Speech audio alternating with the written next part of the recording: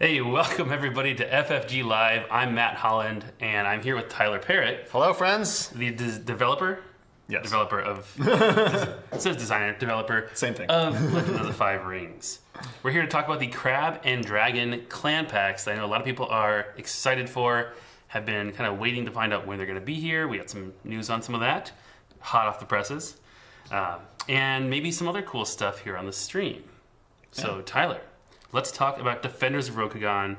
I know we've been talking a lot with the community about the Emperor's Legion, the Yep. Lion Pack, and how that's going to be available to play with at Worlds. A lot of people had questions about Crab. So let's tease some of the stuff upcoming for Crab. Sounds good. Uh, well, first of all, it won't be uh, legal at Worlds, but you might get to see some fun crab stuff at Worlds, maybe? Yeah, more more on that later. Yeah, so uh, What's different about this? this the the crab clan pack is follows in the tradition of all of the other clan packs, which is hey, let's take a theme of crab and focus on it, give a little bit of support for, or at least a acknowledgement of other crab themes. But Sure. the one that I wanted to focus on, of course, was defending the wall. Uh, so there's six different Kaiu wall uh, holdings that fill up your provinces, and you can kind of create a little like, this is the wall that I built. And look, this piece goes with this piece, which goes with this piece, and they're all in a line, and it's great. Nice. Um, and then the stronghold, of course, helps you play your characters when your provinces are full of holdings. Um, but yeah, for the most part, uh, the design of the wall was such that because it's such a huge entity, I didn't want to just have one card for the whole Sure, wall. it's not very epic to be. It's not, right, exactly. Um, and also, this gave me a, a fun design space where, depending on which pieces of the wall you put together, you have different mix and match combinations, and, That's cool. they interact in different ways. So the idea is you can have this wall, but in every game, the wall is going to come together in a different way, basically. Cool, cool. So we've got some cards to talk about, cards that I believe you have curated personally. Well, yes, I wanted to make sure that you guys got to see cool stuff, but also that I got to hold on to some cool stuff to show you later. Sure. So our first one is already up here. Uh, we haven't seen a lot of the characters previewed so far from this pack. What are the themes that you wanted to try and hit with the Dynasty characters that are included in this pack um, that aren't necessarily related to all those holdings? Sure. So uh, obviously, a lot of them are focused on um, interacting with holdings. So we have characters that uh, help you play characters when you have holdings out. You have characters that help go get your holdings. You have characters that go find other characters. But also, you just have characters that want to defend, right? So this, uh, so Hida Sukune is the missing piece to the trilogy of the clan champions' three children. Uh, we saw Hida Yakamo in Children Empire. We saw Hida Oushi in this pack earlier.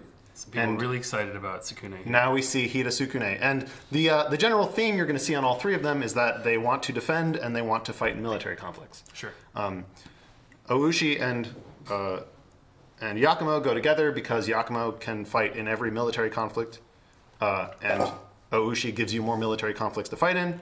Um, Sukune and Oushi go together because Sukune, while he's defending, can get you the cards you need to successfully defend, which then lets you trigger Oushi so you can counterattack again. Um, so it's it's a little engine between the three children, so that Sukune can help you win your defense, which Oushi can then use to give you another military conflict, which Yakamo can then go fight in. And then uh, if you have the clan champion out, he'll just sort of be a big military number to win all your conflicts for you. Makes sense. Uh, speaking of all that talk about the wall, we've got this Kaiu Forges. Yes, so uh, we're going to show off two more pieces of the wall today. Um, the, the, the final missing piece you'll just have to wait on. I'm sorry. Spoilers. But uh, one element of the wall is because it's very mix and matchy, uh, and because all of the wall pieces are limit one per deck, it's not consistent. Uh, is often not going to be consistent. Sure. Um, so I wanted to have a piece of the wall that helped you get the wall pieces that you wanted at the right time into place together. just to increase that consistency a little bit. Just a Still little not bit. as much as being able to run, you know, multiples, I guess. Right. Um, but it also has another feature, which is uh, kind of important, which is that it just has a big three in the upper left corner. Um, plus three province strength is not a lot, um, or is a lot for a holding. Uh, most holdings are zeros and ones. Um, and so this is just a, a holding that's going to make your provinces hard to kill. Uh, and while we've seen this effect before, this, you know, it's a holding that gives a lot of province strength, um, this one has the advantage of being a Kaiu wall. And as we've seen, being a Kaiu wall is important because the other Kaiu walls provide synergy for it. Certainly. Um, and also, it provides you an outlet for if your opponent does have an overwhelming attack and is going to break your province, you can go turn it into something else so that your Kaiu walls are safe in your deck. Sure. And then they can come back at later. That's pretty neat. Speaking of these different options and how they synergize, we've got Third Whisker Warrens. What are the specific kind of beats you wanted to hit with the various parts of the Kaiu wall? And? Yeah, so you'll notice that I'm kind of hitting uh, a bunch of different pieces and, and, and concepts for the wall. We have the Watchtower of Valor, which rewards you for winning as a defender. Uh, we have the um, Northern Curtain Wall, which makes your Kaiu walls harder to break. Uh, we have the River of the Last Stand, which taxes your opponent, punishes your opponent for attacking your walls. Um, and now we have the Third Whisker Warrens, which uh, is just yet another way to reward you for putting uh, wall pieces, which are holdings, into your provinces, and thus preventing you from playing characters. Uh, the third Whisker Warrens is a fan favorite space uh, in the lore because it is the home of a Nezumi tribe, and the Nezumi uh, rat people are. uh, they have a bunch of fans in the in, In the community. in the community, and they're also uh, a a cool, unique feature of how the Crab Clan does their defending of Rokugan, right? Because they have allies who the rest of Rokugan would look down on. But here they've embraced them and said, use. well, you know, these Nezumi built their home underneath our wall, so we're gonna work with them, and you know, those tunnels that they've had are, can be very effective ambush points. So when your opponent attacks your wall, all of a sudden you're playing characters out of your deck, and uh, they didn't see them coming. So with all these cool wall effects, uh, seems to be tradition that the other clan cards in this pack will counter that traditional crab strategy. Mm-hmm. Uh, who is Agasha Hiyori? Is that, is that correct? Yep. And uh, why are they included? Uh, so- dragon for you. Yeah, so uh, here I'll just clear out some of these other cards so we don't run out of space. Um, so we're going to show off the dragon character in the crab pack and the crab character in the dragon pack. Um, one of the things that I wanted to do for each of the uh, off-clan characters, um, of course, as is traditional, they counter some element of the crab clan, right? So if dragon is all about, Hey guys, give me a quick second. We've got the Nezumi chewing on our audio cables. oh no,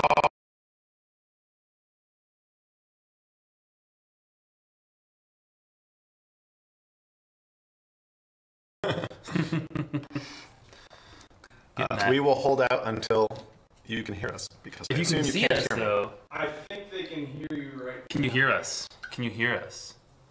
Well, we'll find out when. Uh, When chat Our reacts. ooh, those are cool. I got some. I got some neat stuff that I can always just show if you can't hear us, but looks like it's better. Can I hold one? You can, you can hold one. Yes. People are really wondering what's going on at the table here. Oh, we're gonna show you later. um. Anyway, are we good? Can hear us? Oh yeah, they can hear you. We're just still.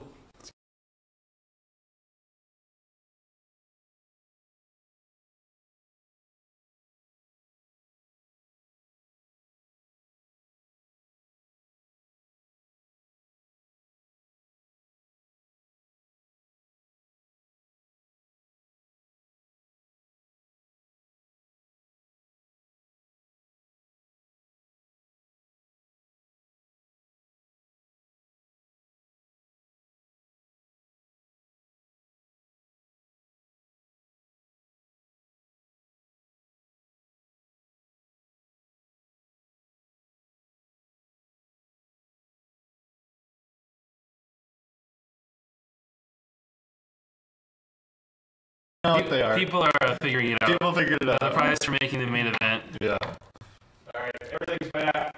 Everything is back. You can hear us now. We are taking that opportunity to mime that these are the uh, some of the World Championship participation prizes.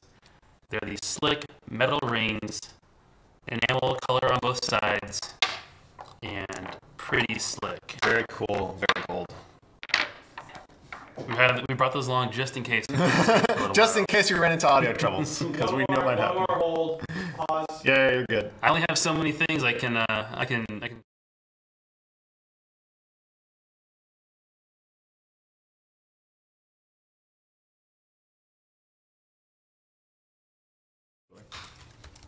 You got audio again.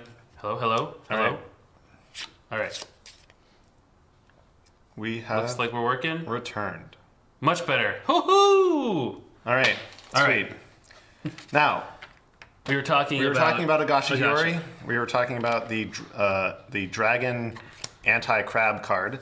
Uh, so if the dragon clan is all about attachments, and attachments is also a sub-theme of the crab clan, uh, as we have learned over the past few tournament seasons. Um, so it made sense that the dragon card that would counter the crab clan would be somehow attachment related. Sure. Dragon doesn't need don't need more cards that prevent you from uh, or that discard attachments, um, but it can be really valuable to turn off an attachment the turn that it matters, uh, especially for fan favorite cards like Reprieve. Right, it's very common for a player to throw down a reprieve at the end of the conflict phase to keep their character around. Yeah, Somebody's talking about blanking reprieves here at the beginning of the Fate phase. Yep, that is exactly the uh, the primary use case of Agasha Hiyori. But she does a bunch of other things too. Um, she can blank attachments that are on your own characters Okay. that your opponent tries to, to um, prevent So you from negative using. attachments right, negative attachments. You can use it to blank powerful weapons like Jade Tetsubo at the beginning of the conflict phase. Um, and because it triggers at the beginning of the conflict phase and you spend the fate to the ring, half the time you're going to be able to just get that effect for free. Sure. Because if the dragon player gets to go first, they can spend the fate to the ring that they want to attack with and then just get the fate right back. Yeah. Um, as for who Agasha Hiyori is, we're seeing a, a Shugenja of the Agasha family.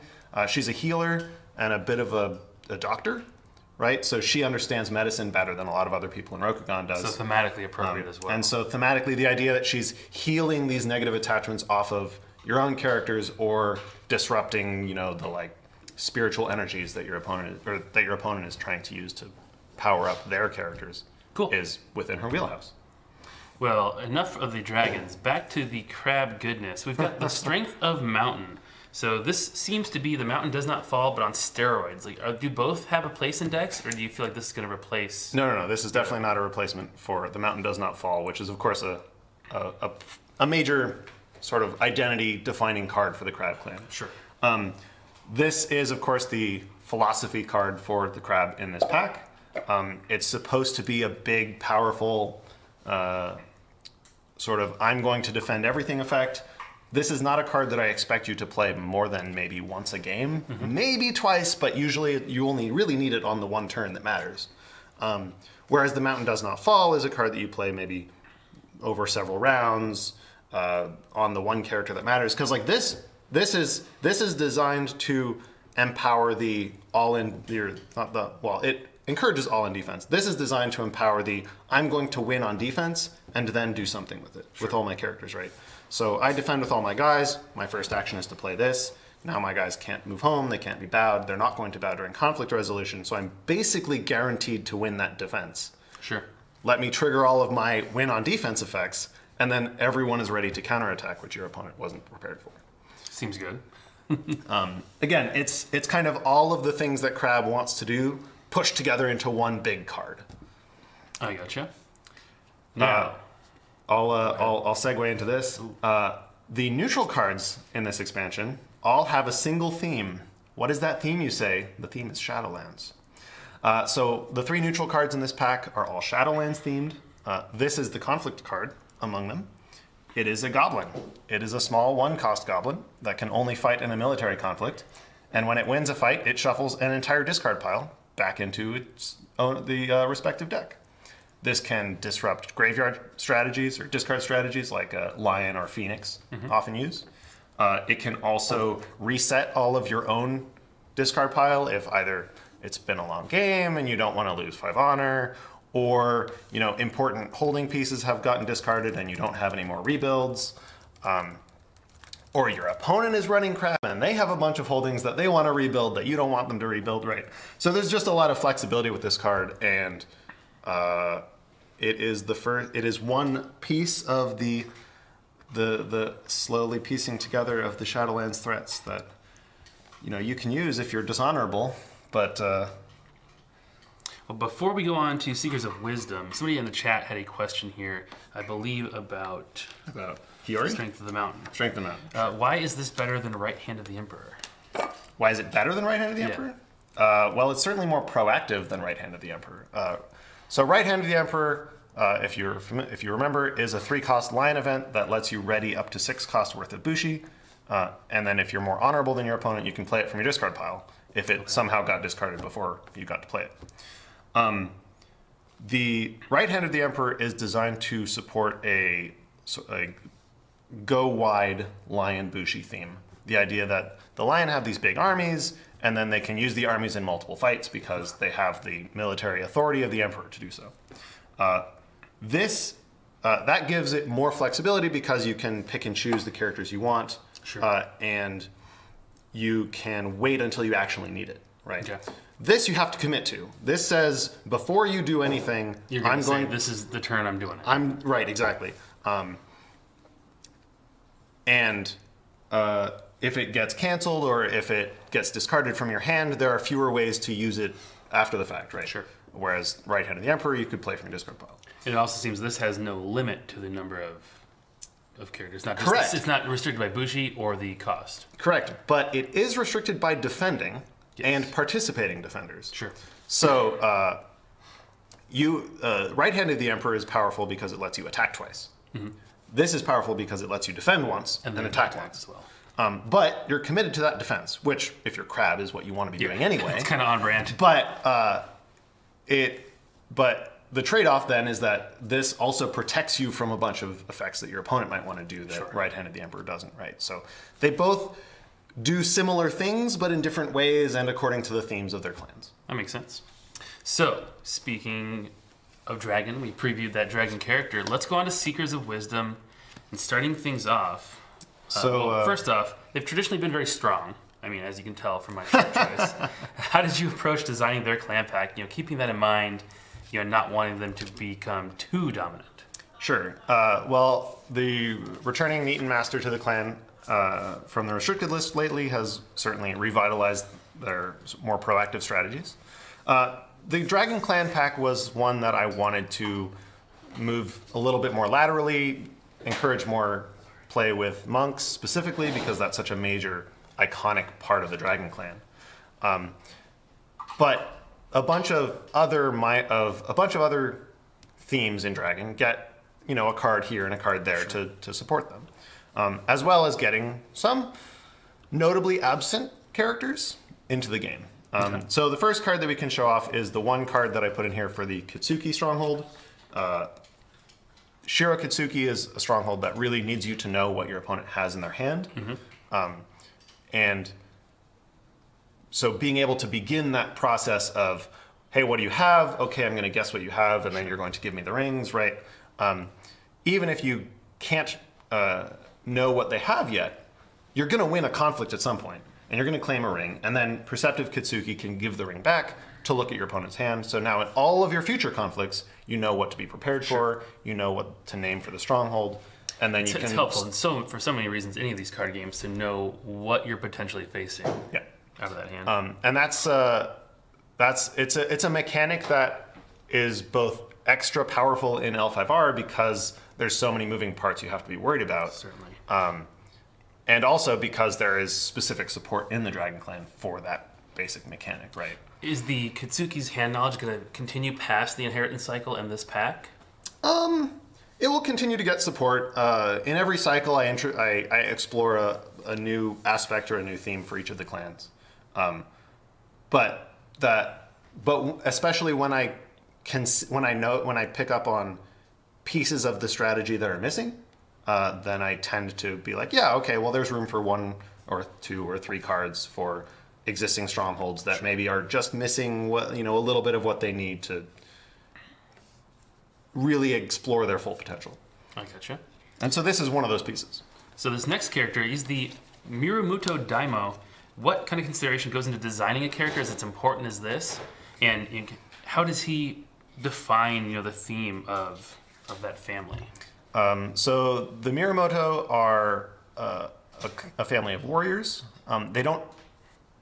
In, in a lot of cases, in a lot of cases, they have their dueling as a sort of very prominent and attention-drawing theme, right? But they're also the kind of the entire military arm of the of the clan of the clan. Um, And for this character in particular, one of his most defining sort of challenges that he's struggling with as the daimyo of the clan is that he's also, in some cases, the acting leader of the whole clan because Togashi Yokuni, of course, is up on a mountaintop meditating and having visions. So, in terms of like managing the day to day tasks of the Dragon Clan, that tends to fall on him. And he is kind of alone in that venture. Sure. So, uh, a theme that exists within Dragon but maybe hasn't been explored a ton is the idea of having fewer characters than your opponent. Um, Especially now that the Lion Pack is about to come out, I expect a lot more decks to have a lot more characters. Okay. Um, so I would not be surprised if the have fewer characters than your opponent theme uh, It's a little bit more is a little bit more well is a, has a little bit more teeth because Sure. you're more guaranteed to have it right? see, have it turned on. In which case just honoring a guy for free at the beginning of the conflict phase is really good because crane have to spend one of their best cards on that. You just get it for free. Um, in addition of course he has the duelist trait which is a trait that matters for uh, for dragon and crane Mm-hmm. but dragon especially um, and also he helps prevent or helps uh, buffer against the the very character control heavy strategies that come out of Scorpion and Crane, where they're trying to dishonor your characters a bunch. He can help counteract that, as well as just be a, a means by which to be very strong when he's fighting on his own. So we've got a neutral character here. Yeah, so I'll give a little bit of a lead into this character. Uh, the Mirumoto Daimyo, uh, the Mirumoto Daimyo famously has a son, and famously his son disappeared one day. And we, we learned a little while ago through the fictions that his son has joined a heretical sect called the Perfect Land Sect, and believes that his father lied to him and that the samurai are are uh, a problem that is that their clan that all of Rokugan has to deal with and has to overcome. Um, so I thought it would be fitting if, in the same pack that comes with Mirumoto Masahige, we would see his son Ichiro. And if you'll notice, Ichiro directly counters his, his father's ability. Uh, Ichiro says each character with one or more attachments on it cannot be honored or dishonored. That plays into the perfect land sect theme of not being honored or dishonored, of being ordinary. Uh, it counters his father because he is actively going out of his way to do so. Sure. Um, Stop it. And also, it's a neutral character that can potentially have a really big impact on the game because It's attachments also are really powerful. a double-edged sword in that it's working for you, but also for your opponent. So, is there any particular matchup that that seems really attractive for? Uh, oh, absolutely. Um, especially if you are yourself playing an attachment-heavy clan, then it's going to give you a lot of resistance to the dishonor uh, strategies of Crane and Scorpion, and um, even Phoenix to some extent. Right? Uh, it it can be very easy if you're a dragon player to just be like, here's some characters, I put an attachment on all of them, and now every single dishonor effect my opponent has is completely irrelevant. I don't need to worry about it. Now I can't honor myself, but that's fine because I didn't have cards in my deck to do so anyway. Sure. Um, on the other hand, you could potentially run it in a more dishonor heavy strategy where you're like, okay, like I'm not going to put attachments on myself because that's not important. But when I have Ichiro out, I can dishonor you, and now any attachment you put on your character is going to prevent you from getting rid of that dishonor token. Um, and maybe that discourages your opponent from putting attachments on their characters that are already dishonored, which presumably, if you built your deck, you're going to be able to dishonor them before the attachment comes out. Sure. Sometimes that can be easier said than done, but there's a lot of uh, you have to uh, start thinking about things in a different way once Ichiro hits the table because now his philosophy is what matters, and everyone will be neutral or ordinary, uh, or else they're going to not play into the dragon's themes because he Sure. is kind of like an anti-dragon card while also playing very well with dragon. And that's very thematic, you know, given his, his background in the in the story too. Yeah. Hey guys, give me a quick hold. Quick hold. Philosophy in the pack, so you can play at the like. It's the unique philosophiness. We will just uh, show off some War World sweat. Wow! Don't spit out your tea all over. No, no, no, me. we're good, we're good. Man. I haven't seen this yet, so I'm really excited. So yeah, that's the We have the dice. the nifty little The bag? token bag bag for it? the. it's uh, not for anything specific. We have if you want to be a crane player, or if you want to be a lion player. Put it, move it a little bit to your right. It could be in front of the. If you want to be neither of those things, I guess. Then you're creative? You're gonna pick one. we have our our Daidoji. Hold on. You can just hold it up to the camera. It's too big for the close up. Yeah, that's what I figured. It's We have our Daidoji and our participation Matsu. Prize. This like sounds good. Ryan. Yeah, I think We getting back? I think my mixed board is dying. Oh You're, no! you're good. You're good. Ah, Oh, so no, you're pointing mixed out board. This could be excellent for your RPG dice if you're playing Yes. the, the L5R RPG. Absolutely. That's a great, great use for it there. In fact, that's probably if I can get my hands on one of these, that's probably what I I'll use it for. I feel like there's a decent chance we can get you, you know, at least one of those. yeah, that seems likely. Maybe, maybe more. All right, we got more cards for you. This is the unique dragon philosophy in the pack. Uh, kind of represents that signature dueling style. What's what's special about it? What really stands out? Uh, so there's two things to know here. One of them uh, is that Preston Stone absolutely killed it with the art. Uh, the second one is that it is a unique item that is also philosophy, and it is called Niten. So what this actually is is the scroll that contains the treatise, philosophy. right? That uh, that uh, Mirumoto so famously wrote. Um, this is supposed to really play up the versatility of dragon and, and of dragon attachments. Um, one thing that, of course, it comes to as no surprise to anyone that, of course, the dragon philosophy is going to be an attachment, but really, attachments are one of their is their most defining mechanical feature. Um, and this lets you turn, this lets you put down an attachment that is valuable on its own, right? Plus one plus one is solid, good enough. But at any time, you can turn it into any other attachment in your hand. So your opponent maybe knows that there's something there, knows that they have to worry about maybe potentially any attachment that you could have. And if the attachment costs more than two, you got a bit of a discount. Um, flexibility is something that is often underrated in games. Um, and so the ability to have that versatility Sure. to just have whatever attachment you need at the moment you need it, while then, since it returns to your hand, you can do it again. Is value very valuable. Do note that it does say max one per round, so you can't do shenanigans where you're chaining Niten into Niten into other things, because that's just silly stuff. So people are maybe notice how thick the stack is here. We'll, We'll- get to the reason we'll for get that, that. soon. But uh, Turns out we brought the whole clan pack. No, I'm just kidding. We didn't do that. done with the the dragon for a second. This is the unique uh, crab card in this pack. Yep. And you know they're often big name players when they're in here in the other clans pack. What's Mm-hmm. special about uh, about this fellow? Uh, so two things. Uh, number one, Hida Hida Kotoe. Kotoe. So, so, so some fun facts about Kotoe. You might recognize the name from the RPG. Uh-huh. You might also recognize the art from the RPG for that matter, because this was a baller piece of art. It is really pretty cool. Uh, Hida Kotoe has the advantage of being a conflict character. Uh, so she's going to show up when you're defending, when you feel confident you're going to win, or maybe her three military will help you win, in which case she can just discard any attachment in play. Turns out when the Dragon clan is the attachment clan, uh, count, the counter to it is going to be to discard attachments. Um, this gives Crab and potentially someone who wants to splash Crab into their deck uh, another avenue.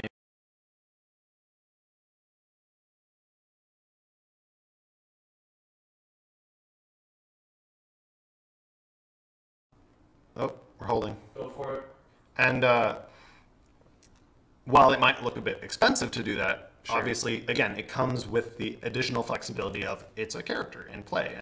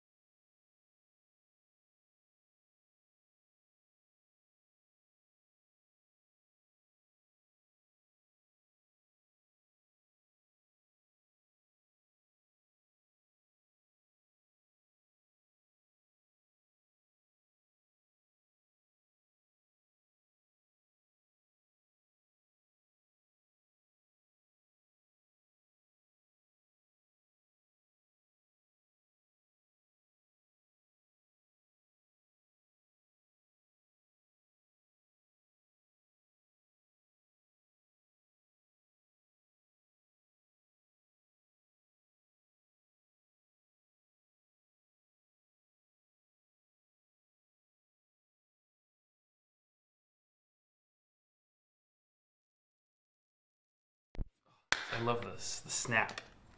All right, Yes. talk again. As far as I'm concerned, every deck box should be magnetic because Right? it's, just so, It's so satisfying. satisfying. Don't slam it that hard. We did it. Loud. We did it. Uh, and not only deck box to hold your cards, but There's you've like got a, fancy- little token box here in the back to keep everything. s- This together. is Nice like gotta be the cover. nicest deck box I've ever Yeah, seen. so this is this is still a you know a sample. The actual one will be very similar to this, but subject to change slightly. and of course, the Hatamoto icon in the front. Yes, absolutely. Yeah, when I saw this, I mean they are they are really pulling out all the stops, making some cool price support. Okay, I'm gonna stop. I'm gonna stop playing with the rings. Above your computer. Awesome. But with my Stop playing with the rings. Really pretty slick, all wood, leather, printed foil graphic there. I can do a little bit of an intro segue for the next thing too, if you want. Sure, sure. Well, before we go, Yeah. Tyler brought one more surprise for you here. It's something a little bit different. So So, uh, you may have noticed that we've had a lot of fictions coming out recently, and uh, some intrepid investigators have discovered the title Clan War attached to them. Turns out our next premium expansion, uh, coming out uh, early next year, is called Clan War. And it is a big box and it has a bunch of cards in it. yes. Uh, what is it doing? You well, might it's, ask. it's the next premium ex- expansion, but it's also it's a little bit more than just that, right? Uh, it is. So you might remember sometime last year. Yeah, there you go. You might remember sometime last year when we did a beta test of multiplayer rules with Enlightenment. Uh, that was a very valuable process. We got a bunch of data from it, and we learned a few things. Number one of which, the format is fundamentally fun. Yeah. Uh, number two of which, there, there were a few tweaks that we could do. Uh, but also, I got a big piece of feedback, which a lot of people had, and I thought was good, which was they said, Where is 2v2? Where is team play? I want to Okay. play with my friends Not against my other all. friends, right? Exactly. Uh, so, Clan War is an expansion focused around multiplayer play, uh, three and four player. Uh, it includes a rulebook, which contains the rules for playing three and four players.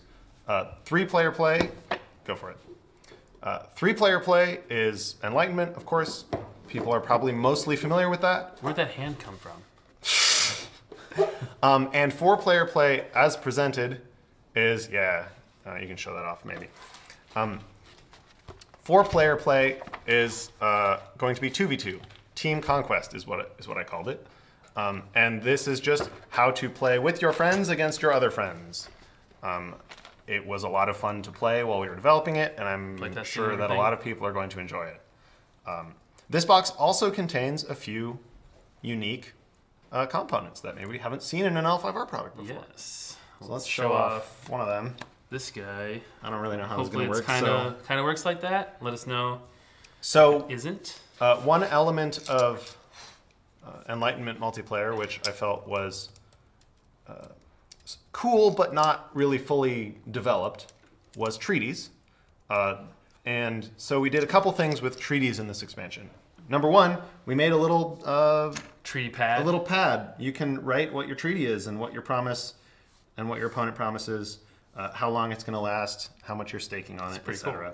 It looks beautiful, and there's a whole bunch of them. I have no idea if this is visible or not. Uh, so that's that's the first uh, unique, feature. yeah.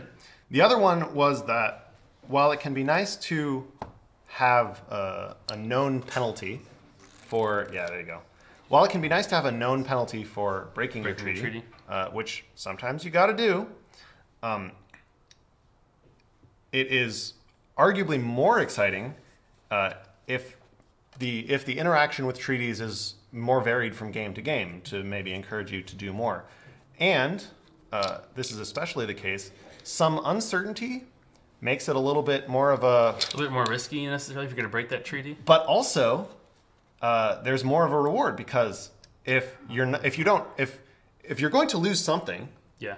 then maybe I'll get lucky and I'll lose a thing that I don't have any of. And Then or there's no penalty. particularly important to you. Even. Or maybe there just won't be a penalty at all, and maybe you know there will be a penalty, a reward for my opponent because they upheld their their part of the, Their end of the deal, but I don't get punished for it at all. Sure. In which case, now my opponent got stronger, which is bad for me, but also it kind of puts a target on them, right, for the third player in the game.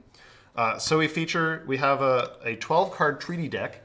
Uh, this takes the same basic fundamental mechanics that treaties had in the public beta, but with the use of a new component, it lets us have a little bit of randomization to and a little bit of uncertainty to So just when you what break the a penalty treaty, will be. you draw one of these, or when you make the treaty deal. So when you make the treaty, you get a face down card. You uh, here grab Back that in there, grab that pad. Yeah, okay, I'll put these back. I'm, I'll put the back up because the back's really pretty. Well, you gotta show the front too, because it wasn't a close up. Oh, it wasn't. Oh, okay.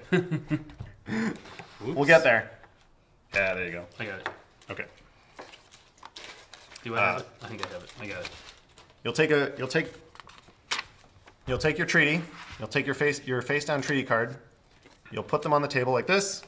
You'll say, "Here's our treaty," and I, you know, we staked three on it, or four, or five, or whatever. Um, Oh, and then if X it, is the X is the the Whichever you- the value that you staked on the treaty. Sure. And then when I break it, if I break it, I'm going to reveal the card and suffer the effects. And now, it might be something really straightforward. Maybe I lose X honor. Maybe I lose so much fate, or lose so much attachments, or discard so many cards. Or maybe I have to give a character to my opponent uh, of that cost or less. And if I just don't have one that fits the bill, then they just get nothing. Or maybe I don't lose anything, but my opponent gains X honor or gains X cards or whatever. Um, and then they become a target for you know me and Sure. my my sense. mutual our mutual opponent. Uh, That's a cool little addition to that to that treaty mechanic. So the idea is to make deal making a little bit more impactful, a little bit more intrigue heavy. Sure. Right? Because uh, there's always the question of,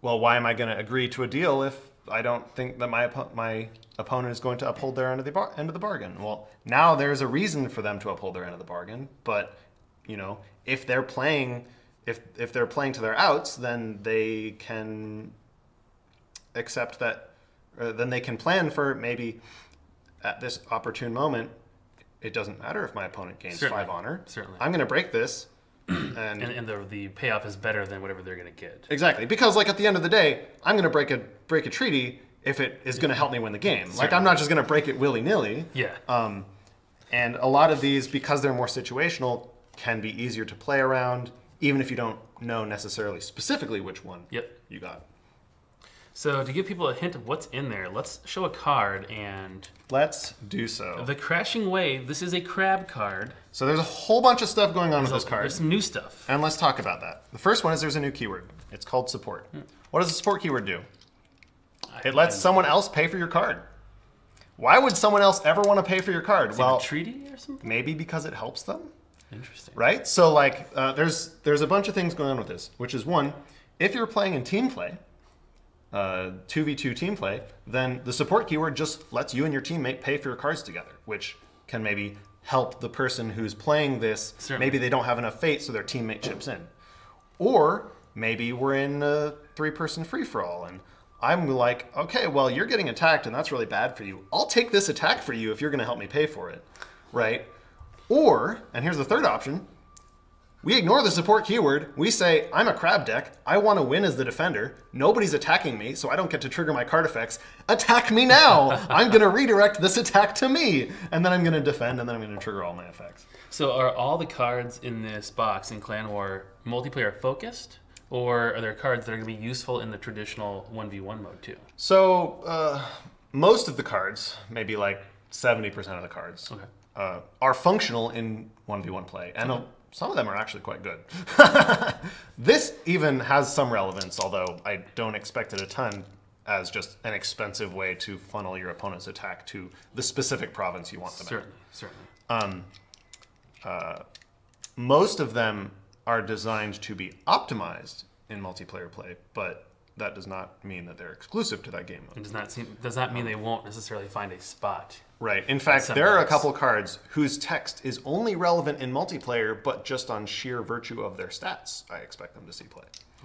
Um, so, of course, this expansion has cards for every clan. Yep. Uh, it has conflict and dynasty cards.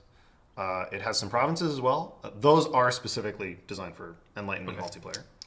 Um, and it's going to escalate the the inter-clan politics and strife. Uh, obviously, we wouldn't call a product clan war if, If it didn't mean some, that uh, the clans were about to go to war. Clan war was famously a, a period of the story in the old old game. Okay. Uh, which occurred just after the Scorpion Clan coup, which might sound familiar, where the clans were at open war with each other, which hadn't happened in a thousand years.